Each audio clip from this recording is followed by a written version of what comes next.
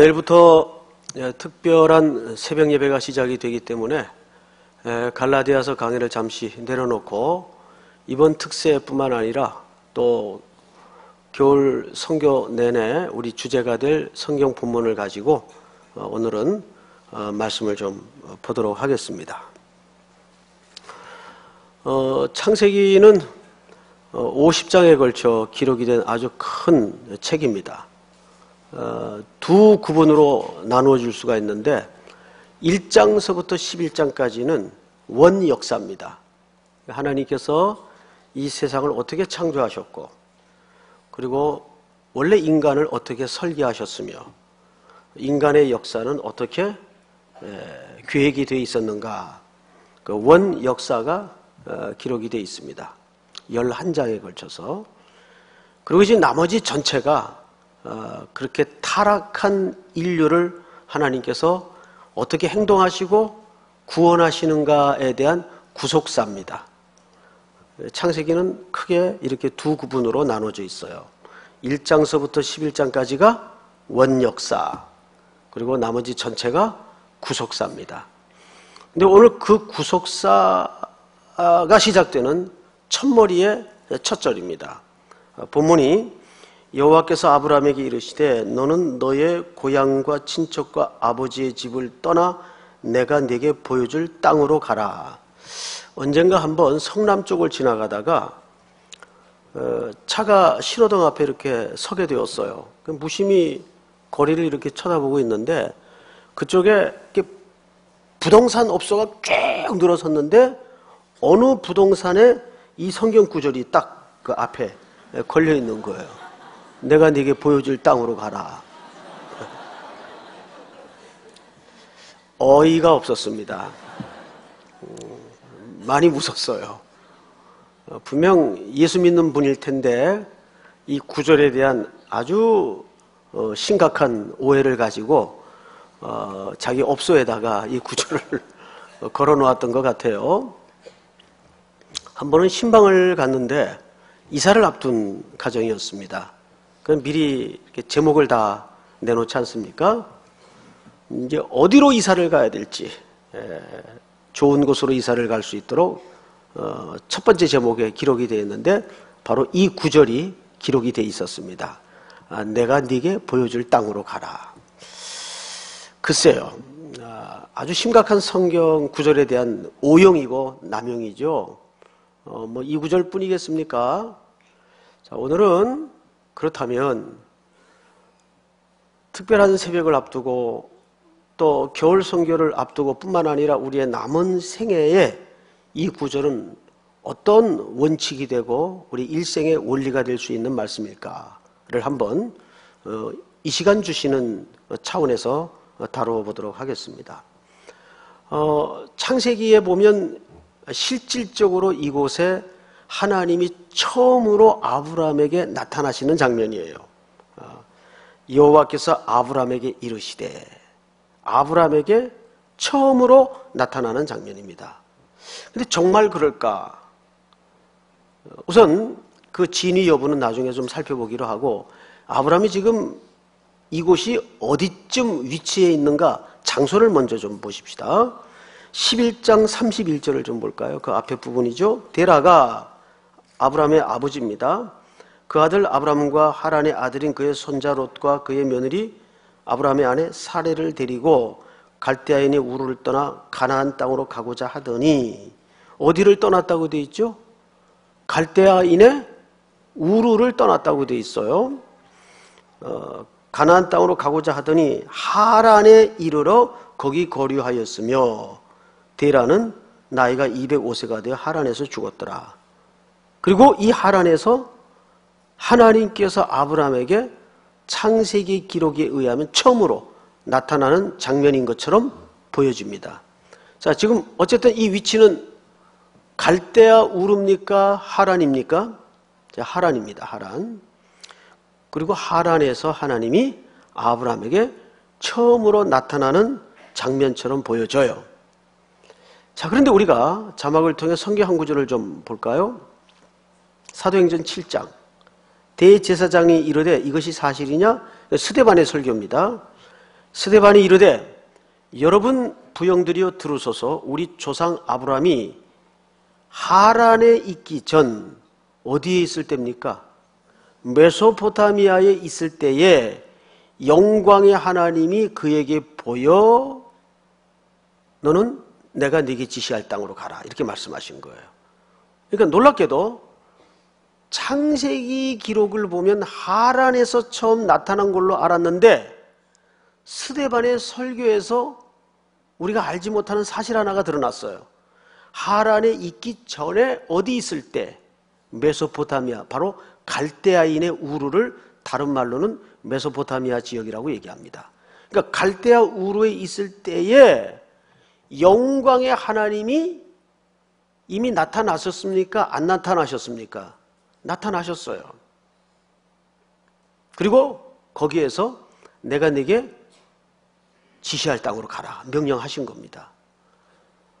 그렇다면 아 이게 하란에서 처음 나타나신 게 아니고 그 이전에 살던 지역인 갈대아인의 우르 땅 메소포타미아 문명 지역인 그 지역에서 이미 아브라함에게 하나님이 먼저 나타나셨던 겁니다.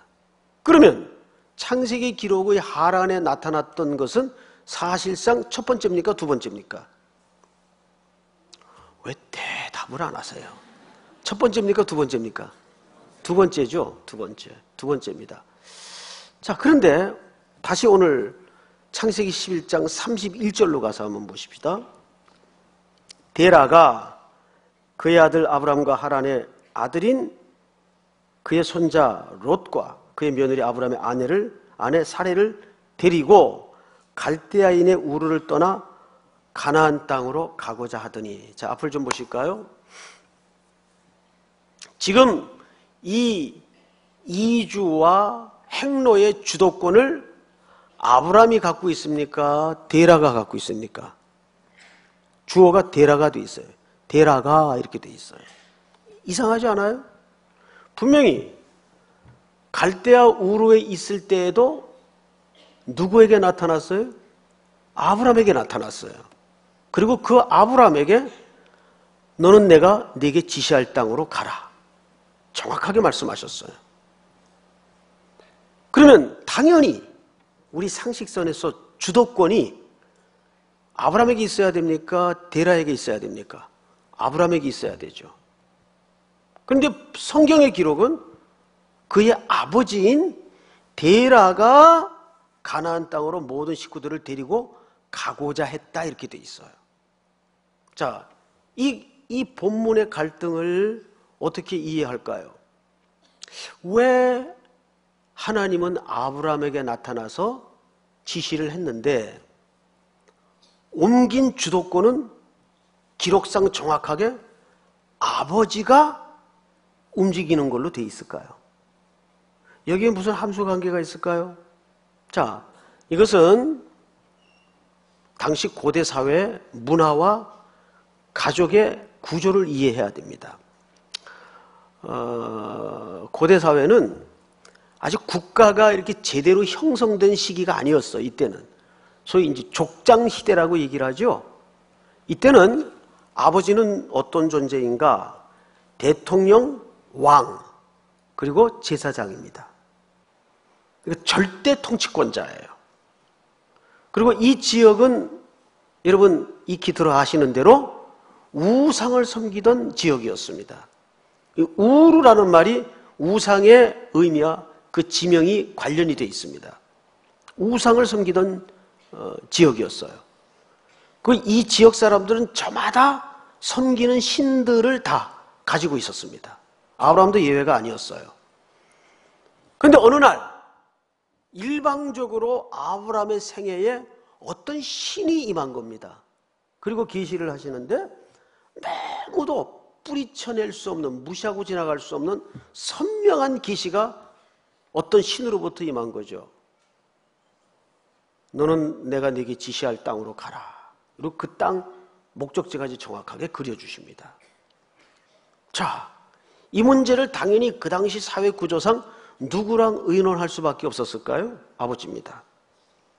아버님, 어, 제가 이런 이런 꿈을 또 계시를 받았는데 이거 아무래도 좀 심상치가 않습니다. 무시할 수가 없는 너무도 뚜렷하고 선명한 계시입니다. 이 당시 또 이 지역 자체가 옆에 강이 하나 있었는데 큰 강이죠. 그 강이 정기적으로 범람을 했어요. 비가 내리면. 그러면 그, 그 침토물들이 도시로 밀려 들어왔습니다. 도시가 점점점 그 황토색 진흙에 쌓여가기 시작했어요. 이게 자연재해죠. 그러던 순간에 아들은 어떤 신으로부터 받은 계시를 대통령이요 제사장이요 집안의 어른격인 대라가 들어보니 아니 내용이 무시할 수가 없는 내용이겠죠. 그래서 고민하다가 지역의 상황도 그렇거니와 옮겨보자 해서 모든 식구들을 통솔해서 옮긴 겁니다. 옮기는데 그냥 그대로 쭉 간 게 아니라 11장 31절을 다시 보세요. 데라가 그 아들 아브라함과 하란의 아들인 그의 손자 롯과 그의 며느리 아브라함의 아내 사례를 데리고 갈대아인의 우르를 떠나 가나안 땅으로 가고자 하더니 하란에 이르러 거기 거류하였으며 앞을 보세요. 쭉 가나안 땅으로 갔습니까? 가다가 어디에 머무르게 되죠? 오늘 하란에 머물게 됩니다. 하란은 원래 하나님께서 계시했던 땅이 아니에요. 그 하란은 어느 지역이냐? 가나안 땅을 가다가 이제 하란을 지나 강을 건너야 돼요. 그 앞에 강이 있습니다. 강을 건너면 되는데 강을 건너기 직전 하란에서 머뭇거린 겁니다. 왜? 이 당시 사람들의 세계관은 이런 세계관이 있었어요. 강을 건너면 돌아올 수 없는 다른 세계로 들어간다는 절연의 의미가 담겨져 있었습니다. 그래서 히브리우, 히브리라는 말이 원래 그 어원 뜻이 강을 건넌 사람들이란 뜻입니다. 강을 건넌 사람들. 그러니까 신앙이 제대로 들어와 있지 않은 이 가족이 어떤 신의 계시에 의해서 여기까지 오긴 왔는데 앞에 유유히 큰 강이 흐른단 말이에요. 쉽게 건널 수 있겠어요? 없겠어요? 못 건너는 겁니다. 게다가 이 하라는 갈대아 우르의 문명 못지않게 화려했던 도시입니다. 그냥 여기서 주저앉은 겁니다.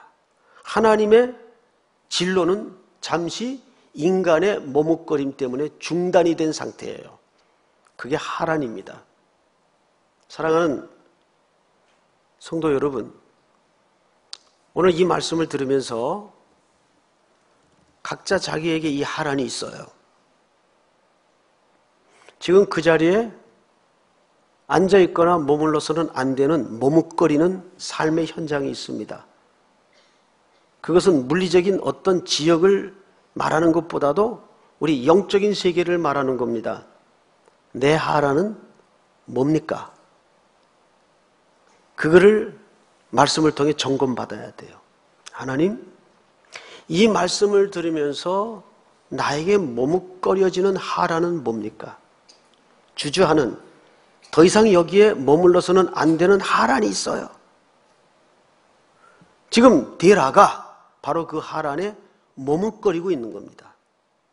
그러니까 하나님께서 이 가정사에 특단의 조치를 취하세요. 32절을 한번 볼까요? 11장 32절 다 같이 읽겠습니다. 시작. 때라는 나이가 205세가 되어 하란에서 죽었더라. 하나님이 이 가정의 주도권자인 지금 여기까지의 모든 행로의 주도권을 누가 가지고 있었어요?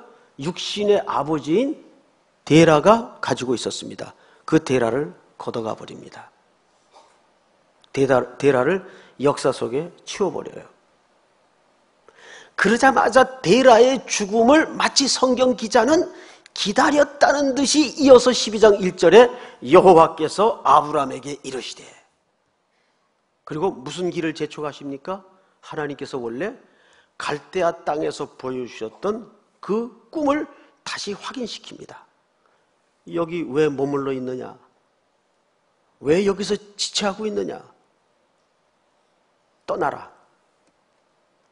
그리고 하나님께서 다시 한번 그 갈대아 우르에서 보여주셨던 스데반의 설교에 나타났던 그 약속을 이 갈대아 우르가 아닌 머뭇거렸던 땅 하란에서 다시 강조하는 겁니다. 그 강조를 한번 볼까요? 여호와께서 아브라함에게 이르시되 너는 너의 고향과 친척과 아버지의 집을 떠나. 자, 저를 보세요. 어, 그렇다면 이미 갈대아 우르는 떠났는데 너는 고향과 친척과 아비 집을 떠나. 다시 말씀하시는 이유는 뭘까요? 아직 떠난 게 아니죠. 머뭇거리는 건 떠난 게 아닙니다. 그렇죠, 여러분? 머뭇거리는 건 떠난 게 아니에요. 자, 그런데 이 본문에 대한 오해 때문에 일부 기독교의 진의를 잘 이해하지 못하는 분들에 의해서 예수쟁이들은 호로자식이라는 소리를 들어요. 예? 고향과 친척과 아비집을 떠나 그랬으니까. 그러나 그것은 큰 오해입니다. 기독교만큼 효를 강조하는 종교는 없어요. 이 5계명이 갖는 의미가 뭐예요? 우리 10계명 강의를 통해 배웠죠? 그리스도 안에서 네 부모를 공경하라. 이것이 옳으니라 그랬어. 옳으니라. 옳으니라는 말은 틀렸다 맞았다 개념의 옳으니라가 아니에요. 이것이 내 본성이다 그 말이에요. 하나님께서 우리를 설계하시고 창조하실 때 원래의 모습을 회복해라. 그 중에 하나가 뭐예요? 부모 공경입니다. 하나님만큼이나 소중하게 지켜야 될 행동 원리가 부모 공경이에요. 그런데 여기서 그 말하는 고향 친척 아비 집을 떠나라는 말에 그 곡해된 진의는 뭘까요? 이것은 여러분들이 원문을 좀 어, 한번 듣고 이해할 필요가 있는데 제가 그 부분을 좀 설명을 드리겠습니다. 이 고향을 떠나 했을 때 고향은 에레츠를 얘기하는데 땅입니다. 땅. 땅을 떠나라 그 말이에요. 여러분, 우리는 우리는 어디서 취함을 입은 존재들이죠? 흙에서 취함을 입은 존재들이에요. 창세기 보면 우리를 가리켜 뭐라 그랬어요? 타락한 인생들을 향해서 너는 흙이니 흙으로 돌아가라. 그것이 타락한 인생들의 순리였습니다. 너는 흙에서 취하였으니 흙으로 돌아가라. 우리가 에레치예요. 땅이에요. 그러니까 그 말은 인간의 죄된 근본을 떠나라 그 말이에요. 또 그 다음에 친척을 몰래댓 이 말은 무슨 뜻입니까? 친척 그 혈연을 얘기합니다. 여러분 우리 인간이 육신으로 맺어진 모든 혈연은 사실상 뭡니까? 자기 확장이에요. 자기 증대예요. 그래서 자식들에게 유산을 물려주고 친인척들을 끌어들이고 하는 게 사실은 자아 확대입니다. 이것은 인간이 살아가는 본질적인 속성이에요.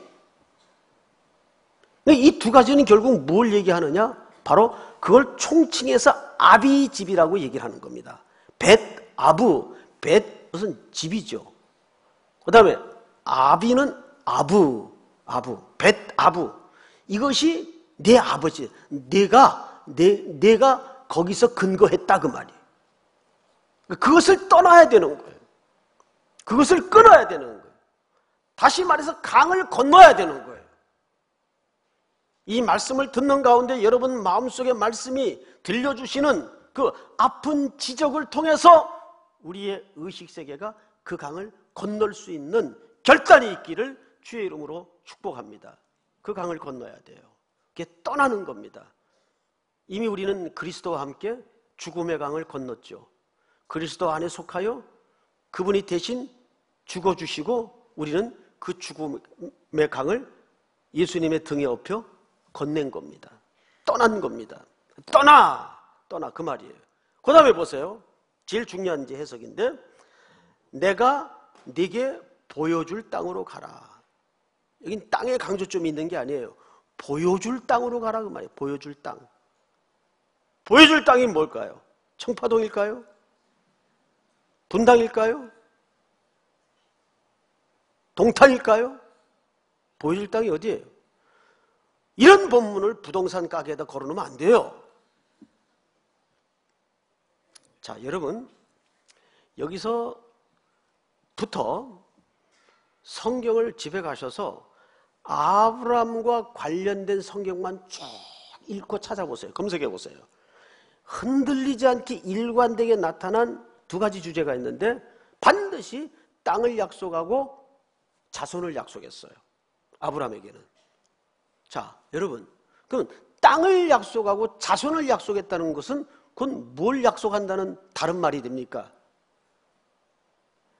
한 나라가 이루어지려면 세 가지 조건이 맞아야 되죠. 첫째, 땅이 있어야 돼요. 영토가 있어야 돼요. 두 번째는 백성이 있어야 되죠. 백성. 세 번째는 주권입니다. 우리가 땅도 있었고 백성도 있었지만 뭐가 없었기 때문에 나라가 아니었죠. 주권이 없었기 때문에 나라가 아니었어요. 일제 36년 동안. 한일 합방이라는 말은 써서는 안 돼요. 그건 일본 시각에서 합방이지. 말 그대로 그날은 국치일입니다. 주권을 빼앗긴 날이에요. 그 주권은 하나님께 있습니다. 그러면 하나님의 주권과 땅과 자손이에요. 여기서 내가 네게 보여줄 땅으로 가라는 말은 무슨 약속을 포함하고 있는 겁니까? 이건 새로운 나라를 얘기합니다. 근데 이 새로운 나라는 12장 7절에 보면 이렇게 돼 있어요. 창세기 12장 7절을 한번 읽어 보십시다. 같이 읽겠습니다. 시작. 여호와께서 아브라함에게 나타나 이르시되 내가 이 땅을 내 자손에게 주리라 하신지라 자기에게 나타나신 여호와께 그가 그곳에서 제단을 쌓고 여호와께서 아브라함에게 나타나셔서 뭘 약속하죠? 두 가지를 약속하죠. 하나님의 주권으로 뭘 주겠다고요? 땅을 주시고 그 다음에 뭘? 자손을 주시겠다고 약속해. 자손을 주리라. 그럼 이 세 개가 합치면 뭐가 된다는 얘기입니까? 새로운 나라를 약속하는 겁니다. 그럼 도대체 이 나라가 어떤 나라일까요? 자, 갈라디아서 3장 16절을 한번 자막으로 보십시다. 3장 16절. 이 약속들은 아브라함과 그 자손에게 말씀하신 것인데 여럿을 가리켜 그 자손들이라 하지 아니하시고 오직 한 사람을 가리켜 네 자손이라 하셨으니 곧 누구라? 놀랍게도 아브라함에게 약속하셨던 땅은 나라를 말했는데 그 나라는 누구의 나라를 얘기하는 겁니까? 그리스도의 나라를 약속한 겁니다. 믿습니까? 그 나라는 그리스도의 나라를 약속한 거예요. 사랑하는 성도 여러분, 마저 한 구절을 더 읽읍시다. 29절. 띄워주세요. 다 같이 읽겠습니다. 시작. 너희가 그리스도의 것이면 곧 아브라함의 자손이요 약속대로 유업을 이을 자니라. 정확하게 우리가 유업으로 이을 나라는 그리스도의 나라입니다. 즉 아브라함에게 보여준 하나님의 비전은 그리스도의 비전을 얘기하는 거예요. 자, 그러면 왜 아브라함을 믿음의 조상이라고 했을까요? 왜? 아브라함은 이 약속을 받고도 그는 순조롭게 항상 경건하게 생활을 했던 인물이 아니고 그에게는 감추고 싶은 과거가 있었어요. 여러분 여호수아서 24장을 한번 볼까요? 띄워주세요. 여호수아가 세겜 땅에다가 백성들을 모아놓고 유언 같은 마지막 고별 설교를 합니다. 세겜에 모으고 이스라엘 장로들과 그들의 수령들과 재판장들과 관리들을 부르매 그들이 하나님 앞에 나왔은지라 2절 같이 읽습니다. 시작. 여호수아가 모든 백성에게 이르되 이스라엘의 하나님 여호와께서 이같이 말씀하시기를 옛적에 너희의 조상들 곧 아브라함의 아버지 나홀의 아버지 데라가 강저 쪽에 거주하여 다른 신들을 섬겼으나 여러분 성경을 잘 보세요. 2절을 여호와께서 이같이 말씀하시기를 옛적에 너희의 조상입니까? 조상들입니까? 복수입니다. 그럼 반드시 이 복수 속에는 누가 포함돼야 됩니까? 아브라함이 포함돼야 돼요. 곧 아브라함의 아버지 나홀의 아버지 데라가 강 저쪽에 거주하여 뭘 섬겼었어요? 예, 다른 신들을 섬겼으나 이것이 감추고 싶은 아브라함의 과거의 모습입니다. 놀랍게도 아브라함은 갈대아 우르에서 뭘 섬기고 있었던 겁니까? 우상을 섬기고 있었던 거예요. 우리 주일학교 출신들 엉뚱한 얘기 많이 들었죠. 아브라함이 믿음의 조상이라니까 그 아브라함의 믿음을 어떻게 하든 동기를 만들기 위해서 여러분 아브라함은 어릴 때부터 외롭게 우상을 섬기던 집에서 홀로 불굴의 의지로 신앙을 지켰습니다. 그러던 어느 날 아버지가 우상을 만들어 시장에 팔러 나간 사이에 아브라함은 몽둥이를 들고 그 아버지가 만들어 놓았던 우상을 다 때려 부수고 집에서 쫓겨난 적도 있었습니다. 소설을 썼죠. 아니에요. 아브라함은 우리와 방불하게 여전히 우상을 섬기다 하나님을 알지 못하던 우상의 땅에서 살던 사람이었어요. 그러던 어느 날 영광의 하나님이 일방적으로 그의 인생 속에 개입해 들어오신 겁니다. 어, 이게 뭐지? 그는 그 곳에서 우상을 섬기던 어떤 나름대로의 종교심이 있었기 때문에 그런 어떤 특별한 현상에 대해서 무시할 수가 없었겠죠. 그리고 아버지와 의논하고 그 의논은 아버지의 주도하에 가정 전체가 그 당시 그 지역적인 상황과 맞물려서 이동을 하게 되는 운명을 겪게 됩니다. 그러다가 결국은 강을 건너기 직전 하란에서 머뭇거리게 되었던 거예요. 더 이상 이 하나님의 꿈이 진전이 되지 않으니까 하나님께서는 특단의 조치로 아버지를 데려가십니다. 그리고 그 가정의 결정적인 변화를 계기로 다시 창세기 12장 오늘 본문에 하나님이 아브라함에게 나타나신 겁니다. 처음 나타나신 게 아니에요. 나타나셔서 내가 네게 보여줄 땅으로 가라. 그런데 그 땅은 그리스도의 나라였어요. 하나님의 나라였어요. 근데 왜 아브라함이 이런 과거의 전력에도 불구하고 믿음의 조상일까요? 그것은 아브라함이 믿음이 좋아서 믿음의 조상이 아니에요. 믿음이 얼마나 하나님의 오로지 선물이며 하나님이 홀로 주도하시는 역사이고 선물인가를 은혜인가를 가장 잘 설명할 수 있는 인물이 아브라함이기 때문입니다. 그는 그 이후에 이제 이후의 성경을 보면 수없이 넘어지고 수없이 거짓말에 비겁한 짓을 합니다. 그 넘어짐 속에 우리가 있었고 그 거짓말 속에 우리가 있었고 그 비열함 속에 우리가 있었어요. 그럼에도 불구하고 하나님은 아브라함을 한 번도 포기하지 아니하시고 훗날 히브리 기자를 통해 이렇게 멋지게 결말을 맺게 하시죠. 믿음으로 아브라함은 부르심을 받았을 때 순종하여 장래의 유업으로 받을 땅에 나아갈새 갈 바를 알지 못하고 나갔으며 그러면 이 히브리 기자의 이야기는 전부 거짓말일까요? 아닙니다. 이것도 사실입니다. 왜 사실일까요? 하나님께서 언제나 그의 넘어짐 속에 같이 있었고 그의 비열함 속에 같이 있었고 그의 처절한 못남 속에 같이 있었습니다. 그래서 그, 그 아브라함의 일생 속에 메시지를 통해서 하나님은 온 땅에 뭘 약속하셨는가 하면 우리 창세기 12장 2절을 한번 볼까요? 다 같이 한번 읽겠습니다. 2절만 시작 해간으로 큰 민족을 이루고 내게 복을 주어 내 이름을 창대하게 하리니 너는 복이 될지라 너는 복이 될지라라는 말이 명령이에요. 하나님의 명령은 우리의 못남과 여지와 상관없이 반드시 이루어지는 겁니다. 너는 복이 될지라. 이 말을 조금 더 직설적으로 해석을 하면 너는 복의 통로가 될지라 그 말이에요.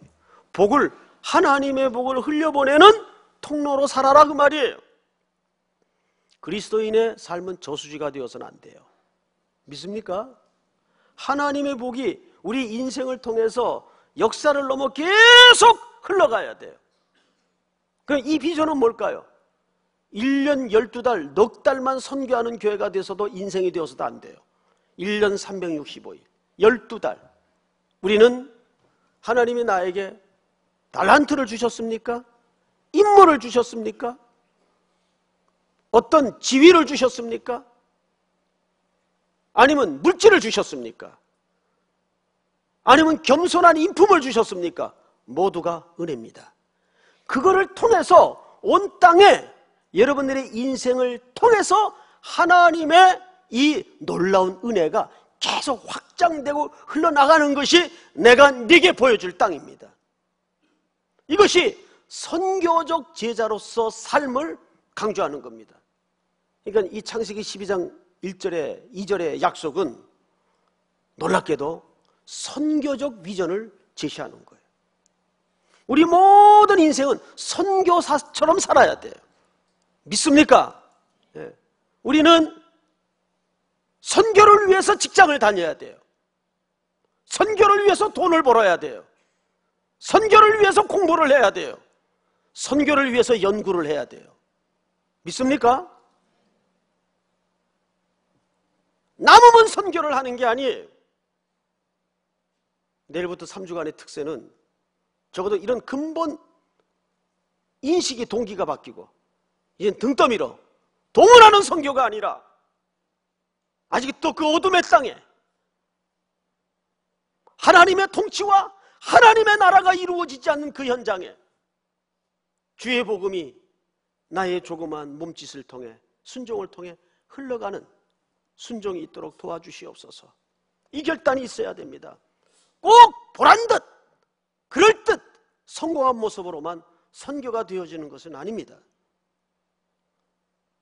내가 비록 사방으로 우겨쌈을 당하고 있지만 무너지지 않고 버티는 그 속에서 하나님의 시퍼렇게 살아계신 모습이 드러날 수 있고 그분의 존귀와 영광이 드러날 수 있도록 믿습니까? 그것이 하나님의 복이 되는 삶의 길입니다. 사랑하고 사랑하는 우리 삼일교회 성도 여러분, 선교는 시간 남고 돈 있을 때 하는 것이 아닙니다.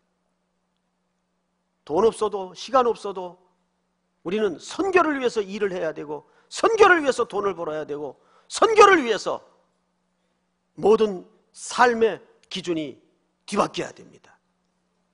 그거야말로 그리스도의 비전을 이루고 그리스도의 나라를 확장시키는 아브라함이 꿈꾸었던 아브라함이 받았던 하나님께로부터의 하나님의 비전이었기 때문입니다. 종종 젊은이들을 위해서 기도할 때 그런 기도를 해요. 하나님의 꿈이 저들의 비전이 되게 하시고 저들의 비전이 하나님의 꿈이 될 수 있도록 도와주시옵소서. 그 다음은 나머지입니다. 그 다음은 오늘 이 2015년 겨울 특세의 주제가 앞으로 평생 우리 삼일교회 모든 성도들의 주제가 되고 순종의 근거가 되는 놀라운 은혜가 있기를 주의 이름으로 축복합니다. 다 일어나십시다. 주님 말씀하시면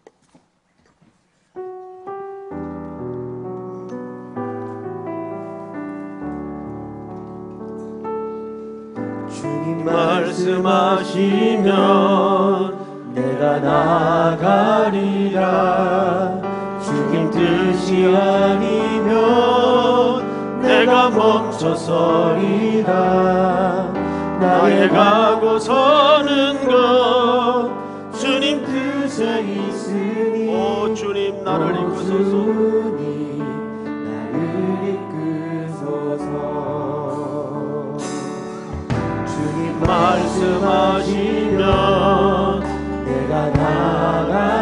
나가리라 주님 뜻이 아니면 내가 멈춰서리다. 나의 가고 서는 것 주님 뜻에